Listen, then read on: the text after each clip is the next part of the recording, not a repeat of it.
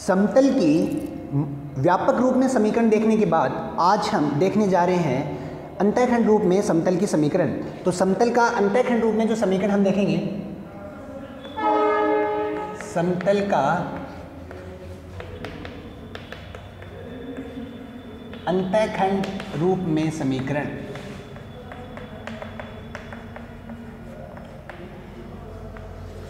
तो समतल का अंतःखंड रूप में समीकरण हम डिस्कस करेंगे।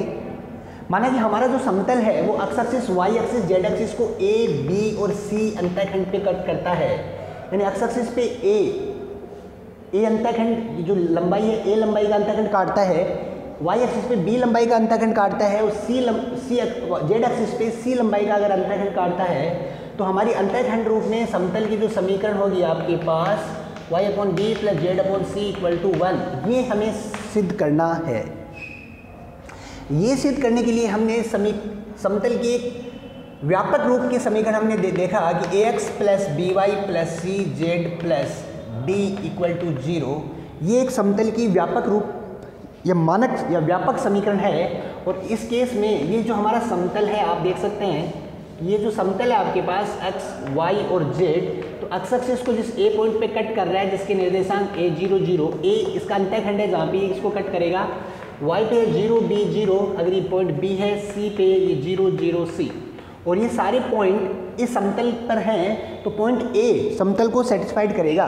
तो ये जो समीकरण एक हमने देखी है तो बिंदु ए जो है ए ए बिंदु, जिसके निर्देशांक ए ज़ीरो ज़ीरो है, वो इस समतल को अगर संतुष्ट करता है तो ये बन जाएगा हमारे पास ए और ये सब ज़ीरो बन जाएगा plus d equal to zero और यहाँ से अगर हम ए फाइंड करें तो ए इक्वल टू होगा माइनस डी अपॉन ए बिंदु बी जो है आपके पास ज़ीरो बी ज़ीरो वो भी आपका समतल को संतुष्ट अगर करेगा तो ये ज़ीरो होगा आपके पास बी में अगर हम वैल्यू पुट करें तो y की जगह होगा b plus d equal to zero यहाँ से b अगर हम निकालें तो बन जाएगा minus d upon b c जो पॉइंट है ज़ीरो ज़ीरो और सी और ये भी अगर हम पॉइंट देखें तो ये भी सं, इस मानक समीकरण को अगर संतुष्ट करता है तो ये ये ज़ीरो ये भी ज़ीरो सी जेड तो सी जेड की जगह रखेंगे अपन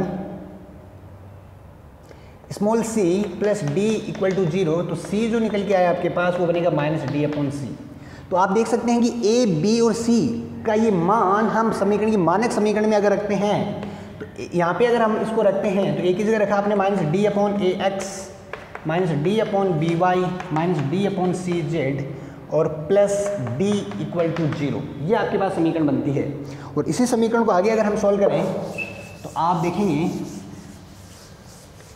कि माइनस डी से पूरी समीकरण को अगर हम डिवाइड करें तो माइनस डी से अगर हम इस पूरी समीकरण को अगर डिवाइड करते हैं तो ये बन जाएगा आपके पास x upon a y upon b z upon c minus one equal to zero और x upon a plus y upon b plus z upon c equal to one.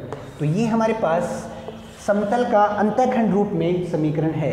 तो किसी भी सम, आप देख सकते एक्स अपॉन ए ए जो है, वो ए लंबाई का अंतःखंड ही एक्स एक्सिस पे कट करता है, बी लंबाई का एक्सिस वाई पे, सी पे, आप जेड एक्सिस पे सी लंबाई का अंतःखंड कट करता है। तो अब इससे रिलेटेड अगर हम एक सवाल को कंसिडर करें तो आप देखेंगे कि हमने यहाँ पे एक सवाल देख लेते हैं कि किसी भी मानक समीकरण को क्या हम अंतःखंड रूप में बदल सकते हैं? तो थ्री एक्स सपोज़ कि हमारे पास एक समीकरण है three x minus four y plus two z equals to बारह ये हमारे पास एक मानक समीकरण है, उसको अंतःखंड रूप में बदलिए। तथा इसके अंत अक्सक्सिस के, जो आपके अक्सक्सिस पे, जो इसके ए बी सी हैं, कि अक्सक्सिस को इसका अंतःखंड यानी कहाँ पे कट कर, किस लेंथ पे कट करता है बी पे वाई एक्सिस पे कितना और जेड एक्सिस पे कितना, उसकी लंबाई भी निकालिए। तो यहाँ पे हम ए बी सी भी हमें यहाँ पे निकालनी है। तो काटे गए जो अंतःखंड भी हमें ज्ञात करना है तो ये समीकरण आपके पास, अगर हम समीकरण की तुलना करें X upon A plus Y upon B plus Z upon C equal to one से तो हमें यहाँ पे बनाना है वन तो पूरे को बारह से डिवाइड किया। तो ये बन जाएगा हमारे पास इक्वल टू वन इसको हम सिंप्लीफाई करेंगे तो X upon four Y upon three Z upon six equal to one compare करेंगे उसके साथ A equal to four B equal to three और सी इक्वल टू सिक्स तो आप देख सकते हैं, ये इसका अंतःखंड रूप में समीकरण है और ए बी सी जो है आपके पास इसके काटे गए अंतःखंडों की लंबाई है। इसके बाद देखेंगे हम नेक्स्ट समीकरण। टॉपिक है हमारे पास समतल का अविलंब रूप में समीकरण। समतल का समतल का अविलंब रूप में समीकरण। समतल का अविलंब रूप में समीकरण हम देखते हैं। तो देखिए, समतल का अविलंब रूप में समीकरण देखने के लिए हमने यहाँ पे कुछ कंसिडर कर लेते हैं, आप देखेंगे कि हमारे पास एक्स एक्सिस है, ये वाई एक्सिस है, ये आपके पास जेड एक्सिस है। उस केस में अगर देखें तो यहाँ पे ये हमारे पास एक प्लेन है। ये एक समतल है हमारे पास। इस समतल पे अगर देखें तो ये कोई बिंदु एन है। इस एन से अगर ये ओ एन देखें तो ओ एन जो है, वो समतल से लंबवत है। मूल बिंदु से समतल पर खींचा गया लंब है। तो ओ एन जो ओ एन समतल से या मूल बिंदु से मूल बिंदु से समतल पर खींचा गया लंब। समतल पर खींचा गया लंब है। ओ एन मूल बिंदु से समतल पर खींचा गया लंब है और इसको हम ओ एन सदिश में भी कन्वर्ट कर सकते हैं। लेकिन उससे पहले आप देखेंगे, उस समतल से मूल बिंदु से जो लंब खींचा गया है, उसकी लंबाई, इसकी जो लंबाई है, वो हमने पी ली है। इसी के साथ इस समतल पे कोई एक बिंदु आर या बिंदु पी हमने यहाँ पे कंसिडर किया है और इस पी का वो मूल बिंदु के सापेक्ष जो स्थिति सदिश है, वो आपका आर सदिश है। तो आपने कोई बिंदु पी यहाँ पे लिया जिसका स्थिति सदिश स्थिति सदिश आर सदिश है। एन कैप एन कैप जो है आपके पास एन कैप समतल के लंबवत इकाई सदिश, जो समतल के लंबवत जो सदिश लिया था एन कैप समतल के लंबवत इकाई सदिश है। समतल के लंबवत इकाई सदिश। तो आप देख सकते हैं ये जो इकाई सदिश है समतल के लंबवत, वो आपका ओ एन दिशा में है। ओ एन दिशा में, जो वेक्टर है ओ एन सदिश उसी की दिशा में ही एन कैप समतल के लंबवत एक इकाई सदिश है। तो अगर हम यहाँ से कुछ चीज़ें आगे डिस्कस करें तो ओ एन सदिश अगर मैं निकालता हूँ तो देखिए ओ एन समतल के लंबवत है और किसी भी समतल के जब हम लंबवत कंसीडर करते हैं तो उसका जो इकाई सदिश है, वो एन कैफ है। और मेरे को इकाई सदिश पता है और इस समतल की मूल बिंदु से दूरी जो पी है तो ओ एन सदिश होगा, वो होगा पी एन कैप ये हमारे पास इक्वेशन फ़र्स्ट सेकंड जो हम देखेंगे एन पी सदिश, जो समतल पे सदिश है तो पी का स्थिति सदिश माइनस एन का स्थिति सदिश, और वो है आपके पास पी एन कैप ये हमारे पास समीकरण नंबर दो है। तो समीकरण एक और समीकरण दो हमने यहाँ पे फाइंड किया। अब देखो ये ओ एन सदिश समतल के लंबवत है एन पी सदिश समतल पर स्थित है। तो ये दोनों सदिश एक दूसरे के लंबवत हैं। तो उस केस में अगर अपन देखें तो आप देखेंगे कि एन पी सदिश डॉट ओ एन सदिश इक्वल टू ज़ीरो होगा। एन पी सदिश की वैल्यू वहाँ से हम देखेंगे कि आर सदिश minus P N cap dot P N cap equal to zero होगा। तो आर सदिश dot P N cap minus P N cap dot P N cap equal to zero इसको हम सॉल्व कर लेते हैं तो आर सदिश dot P N cap equals to P square N cap dot N cap और ये आप देख सकते हैं, इसकी वैल्यू वन होगी आपके पास। तो आर सदिश डॉट पी एन कैप या पी से इसको डिवाइड कर देंगे P square divided by P R सदिश dot N cap equal to P ये आपके पास समतल का अविलंब रूप में समीकरण है। तो समतल का अविलंब रूप में समीकरण हमने यहाँ से निकाला है और बहुत ही ध्यान से हमें देखने की ज़रूरत है। सबसे पहले पता होना चाहिए जो पी क्या है। तो समतल की मूल बिंदु से जो दूरी है वो आपके पास पी है। एन कैप क्या है मेरे पास? तो समतल मूल बिंदु से, जो समतल पर हमने लंब डाला है, उसका, उस दिशा में इकाई सदिश है। तो एन कैप आप देख सकते हैं कि ओ एन सदिश जो है, उसकी दिशा में इकाई सदिश है। तो यहाँ पे ये हमारे पास इकाई सदिश है। आर सदिश आर सदिश हमारे पास समतल पे कोई बिंदु है, जिसका स्थिति सदिश आर सदिश है। तो इस केस में यहाँ पे सारी चीज़ें हमें पता हैं। तो अगर हम मुझे ये सदिश, ये आपका समतल का अविलंब रूप में सदिश समीकरण हमने यहाँ से निकाला है। तो सदिश समीकरण को अगर हम थोड़ा सा और एक्सटेंड करें तो आप देखेंगे कि सर अगर ये जो एन सदिश है एन कैफ है, इसको अगर मैं ओ एन सदिश में अगर मैं को बदलना हो तो आप कुछ नहीं करेंगे। आर सदिश डॉट एन कैप को अगर मैं भाग दे देता हूँ उसके मापांक से मापांक से अगर मैं भाग दे देता हूँ तो ये आप जानते हैं कि कोई, हमारे पास क्या बन जाएगा? आपको पता है एन कैप जो होता है, वो N vector upon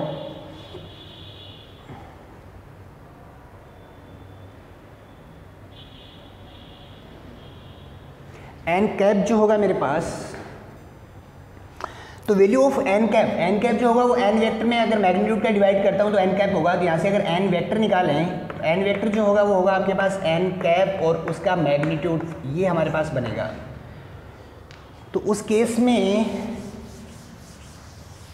यहाँ से आप देख सकते हैं कि आर सदिश जो होगा आपके पास आर सदिश जो होगा, ये हम ये कंसिडर नहीं करेंगे। हमारे पास इक्वेशन थी आर सदिश N cap equals to P था आपके पास एन और यहाँ से अगर अपन देखें तो एन कैप जो है आपके पास, वो है N vector upon N cap ये है हमारे पास। तो एन कैप की जो वैल्यू होगी हमारे पास, वो होगी आपके पास एन वेक्टर अपॉन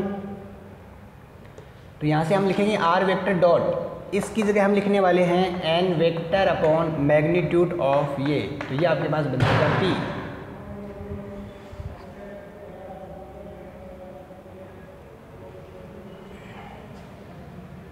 उस केस में अगर अपन देखें तो आर वेक्टर डॉट ये बन जाएगा N vector equals to P N magnitude of N cap और ये बन जाएगा R vector dot N vector और ये आपका होगा क्यू तो क्यू की जो लेंथ है आपके पास जो क्यू निकल के आया है तो क्यू जो है वो है आपके पास P magnitude of N vector और यहाँ से अगर मेरे को पी फाइंड करना है तो क्यू जो लेंथ आई है, उसको अगर मैग्नीट्यूड से अगर मैं डिवाइड करता हूँ तो उस केस में मुझे पी मिलेगा.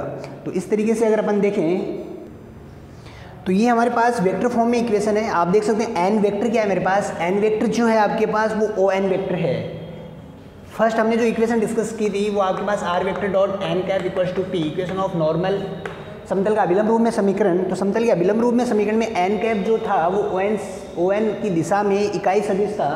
पी उसकी दूरी थी, उस समतल की मूल बिंदु से दूरी थी। और उसी केस में अगर इस समीकरण को अगर आप देखें तो एन सदिश मेरे पास वो सदिश है ओ एन सदिश। तो वो सदिश है और वो आपके पास ये है क्यू और क्यू में अगर आप, इस क्यू में अगर इसके मापांक से अगर आप डिवाइड करेंगे तो हमें मिलेगा P. और P जो है वो समतल से उस बिंदु की दूरी है। अब हम इससे संबंधित कुछ प्रॉब्लम को यहाँ पे हम डिस्कस करने वाले हैं।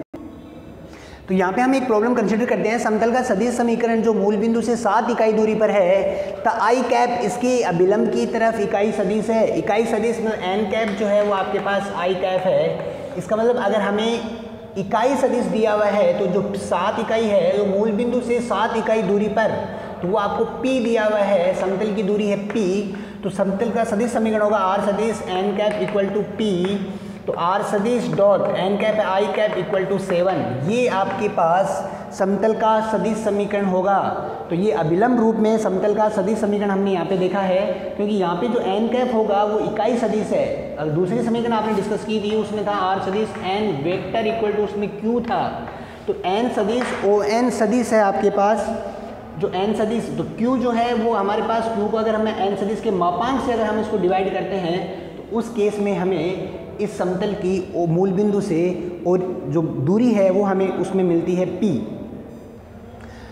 प्रॉब्लम है हमारी, समतल का सदिश समीकरण ज्ञात कीजिए जो मूल बिंदु से सात इकाई दूरी पर है। तो यहाँ से अगर देखें तो पी जो है वो आपके पास सात इकाई दूरी पर है, तथा सदिश इसकी अभिलंब है। तो हमें यहाँ पे अभिलंब सदिश यानी ओ एन सदिश यानी एन सदिश हमें दिया हुआ है, जो आपके पास six I plus three J cap minus two K cap है। तो समतल की समतल की अभिलंब रूप में समतल का सदिश समीकरण हम ज्ञात करें तो सदिश समीकरण था आर सदिश dot N cap equal to P था हमारे पास। और वो एन कैप इस सदिश से अगर अपन निकालें तो हमें पता है इकाई सदिश, यानी किसी भी सदिश में अगर उसके मापांक का अगर हम भाग दें तो six I cap plus three J cap minus two K cap है। मापांक का अगर भाग देंगे तो हो जाएगा thirty six plus nine plus four तो एन कैप इक्वल्स टू बनेगा six I cap plus three J cap minus two K cap upon में जो है आपके पास, ये बन जाएगा आपके पास सेवन ये बन जाएगा सेवन तो एन कैप जो बना है हमारे पास तो आर सदिश डॉट एन कैप है, आपके पास six I cap plus three J cap minus two K cap upon seven equal to P जो है वो सेवन है आपके पास। तो आर सदिश dot six I cap plus three J cap minus two K cap equal to forty nine ये हमारे पास समतल का सदिश समीकरण है और यहाँ पे यहाँ पे देखिए एन कैप जो है, हमें ये जो सदिश दिया हुआ था तो ये अभिलंब सदिश दिया हुआ था, इकाई सदिश हमें उसको परिवर्तित करके वहाँ पे लिखना था। तो इससे संबंधित जो भी प्रॉब्लम्स हैं, वो बहुत ईजी प्रॉब्लम है डायरेक्ट फॉर्मूला पुट करना है आपको। तो इससे रिलेटेड जितनी भी प्रॉब्लम है, वो आपको एज होमवर्क आपको फिनिश करनी है।